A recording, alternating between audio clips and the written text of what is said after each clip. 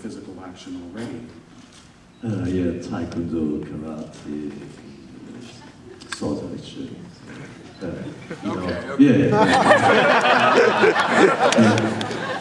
um, these, yeah, these two days were so long and very tough. Um, I don't know why I'm still here, and uh, yeah, uh, I have no idea, you know, uh, how I survived. yeah. Were, were the scenes were the scenes done in order, like the fight scenes in order, or all, how was the, the shooting process? You mean like the schedule? Yeah, kind of yeah. I, we had two, two, uh, two sets running at the same time for 60 days. And it was like the units were staggered, so we would, like, sh- we would start one unit earlier and work through lunch, and when we would set up the lights, I would go to another stage, whatever. I have no idea how we even. So it wasn't in any order, I just remember we were going through it until we get to the end. So it's a. So, uh, can you talk a little bit about the visuals? Like your, your drawings from so many different cinema styles and stage styles. Um, can you just talk about how you kind of pieced that all together? I mean, it's actually it's funny because when you look at this thing, people look at it and they probably think like, "Whoa, what's like, you know, what's going in your mind, whatever." But it's it was a very meticulous process. It took us about a year. We did a, a research. Uh, I think we had a website at one point with five thousand images of research that we've gathered with the art department. And uh, again, I keep saying it, but I actually mean it. There was so many talented people. It was about choosing the right people. I'm so honored, by the way, that all these guys came to support the film. It's, is that more rewarding for a filmmaker to see people that worked on the movie standing behind it? I mean, it's an amazing feeling. And with the art department, we did this research. We, we spent uh, almost a year just kind of figuring out what we want to do. And at one point, we had uh, a full office filled with boards. All the things that made sense to me in some way, in an abstract way, we just put them on the walls without really understanding how they're going to connect to each other. And it was one day we just walked in and looked at the wall and was like, this, this, this, this. It all made sense, you know, you start connecting. And in terms of the camera work, it was a separate thing. The camera work uh, was something that I had in my mind. I, I feel like a lot of these films that are being set up in this uh, visual effects world, they're always like set pieces. Like you never see 360 degrees, you never turn around. And subconsciously it kind of disconnects the, the universe. So I really wanted the camera to move around a lot and to stay within one shot and do all these kind of things. And that led to the way that we designed the sets and thought about how to build them and all this stuff. The thing that I like about it, as opposed to a lot of films where you see the CGI backgrounds in the scenes, everything is physical. Because, I mean, it's very stagey. and You can tell, like, as you're watching, you kind of feel like you should have a playbill. You're in the middle of a Broadway show. So, I mean, kudos for that. It's incredible. I'm going to open up the, um, the floor to, to questions. We have a question over there in the orange. Hi. Wow, this, the ensemble of hunky men. That's what I do. Chippendales is the next thing I'm doing. Wondering, um, the drifter, what's with the taxi one is that? I fucking knew somebody was gonna ask that. I kept seeing the tattoo on my neck and I was like, shit, what did that say again? Uh,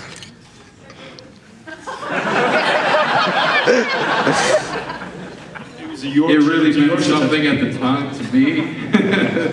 uh, what did we come up with, that? It was a gypsy thing. Yeah, it was a gypsy thing. And you didn't want to tell me what it is. I wanted didn't want to tell you what it was like, it's mine. I'm gonna go. So he went and did research in Came back with this thing, and I'm like, whatever you want, man, it's your tattoo. Don't lay that on me, I have no idea what you did. I'll get back to you on that one. Yes, they're in the back. Yes.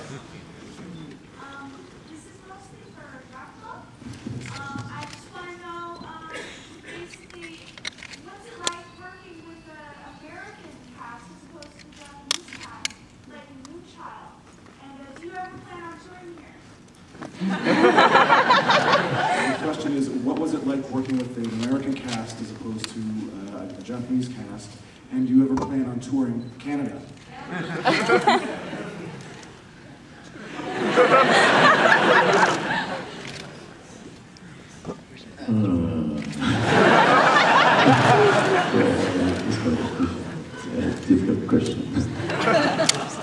you want some cuisine? you know, uh, you know, our schedule, our schedule was very hard. You know, uh, when I was in Romania, uh, I woke up at five. Yeah, I slept at three. Yeah, for two months. but you know, they're yeah, they were always smiling.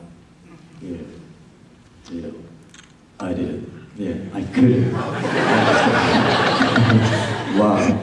Yeah, you they. You know, every time, you know.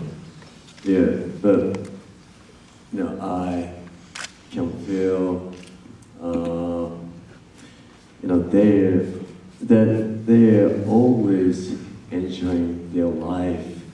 You know, it, it is, it is very important to uh, succeed. Yeah, I uh, I know. Uh, it, it's kind of difficult to express my feeling, but yeah, they're always pushing me, and uh, yeah, it is is very good. Yeah, it was very good learning experience, experience for me uh, that I could see their uh, performance. Yeah. The Japanese actors are more strict. Yeah, uh, they are always uh, thinking about, uh, yeah, of course, acting, but uh, with uh, with no smile. Yeah, I love I love this style.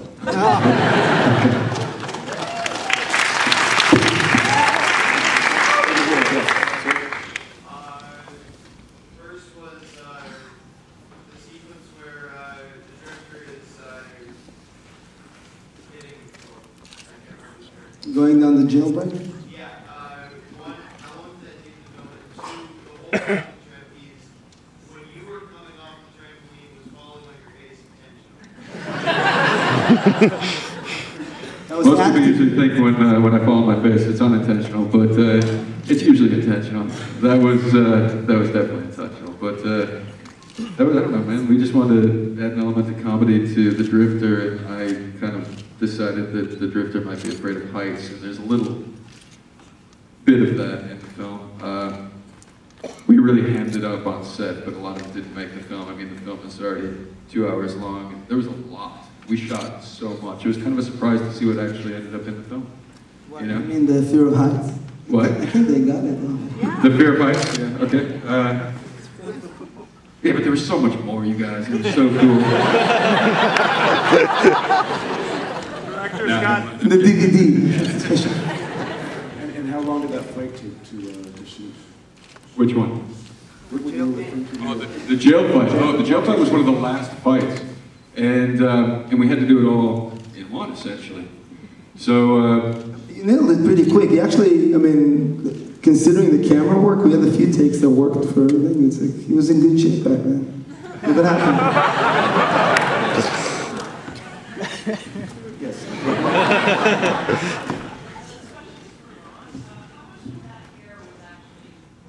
How much of that hair was actually yours? None of it.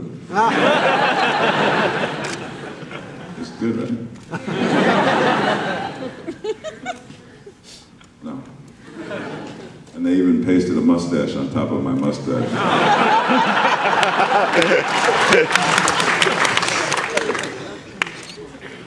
was just going to ask about the medallion. Can you tell us more about why it was so important? Can you tell us about, uh, about the medallion? You wouldn't understand.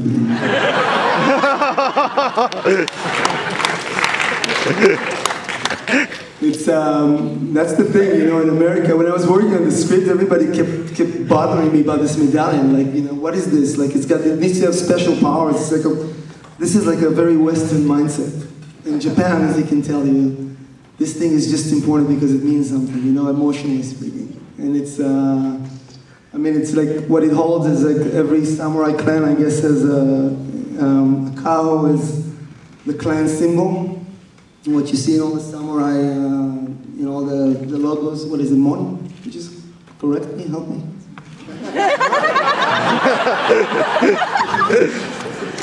So yes, I mean it's important. It's a traditional thing. It doesn't have to have like any special meaning other than that. And it's like your flag, basically. You know, not that anybody cares anymore. But sorry.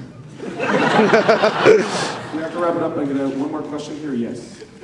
Um, first of all, congratulations, uh, it was a wonderful experience. Um, just a question about the drifter, and why, why and why did he come to kill Ron's character? He said, you know, the man that said that to you was my father, and, and prior to his death, uh, Ron had said, you know, I've killed a hundred men, so ostensibly there'd be many sons or daughters who would want to kill him, so why, why the drifter? Somebody's got to do it. I mean, you know. He first one could, that he could get a female actress to play one of the daughters. So. You got me? It's actually, you know, it's a funny question because I think, like in all the revenge movies you see, whatever, one of the things that bothered me always is uh, one of my favorite films of all time is Once Upon a Time in the West. But Charles Bronson is like one of the greatest movies ever made, in my opinion. But Charles Bronson is like 40. I'm like, why did you wait so long, man? You could have done this 15 years ago. Thank you very much. Let's hear it for Evan Radu.